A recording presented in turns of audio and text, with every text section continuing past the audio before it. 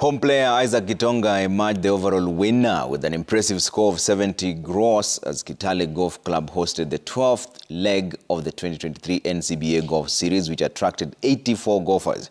Gitonga fended off stiff competition from Philip Shihasi, who secured the top spot in the men's gross category with an impressive score of 72. John Dhuo, who carded an equally impressive 78 gross, finished second.